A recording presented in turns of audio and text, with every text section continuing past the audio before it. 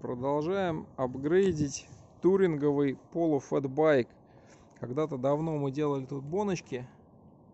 Мы же боночки делали. Или они были здесь изначально?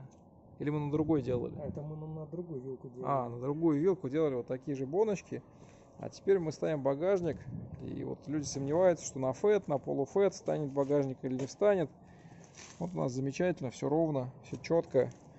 Можно сказать, в горизонте, чуть-чуть наклонен вперед, совсем немножечко. Стоит вот так вот замечательно багажник.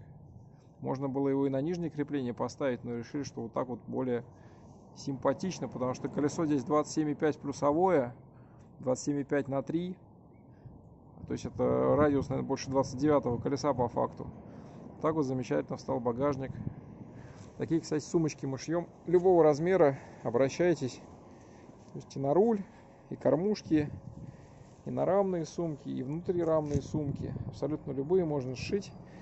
И может даже сошьем еще и на багажник сумки попробуем. Так что приезжайте.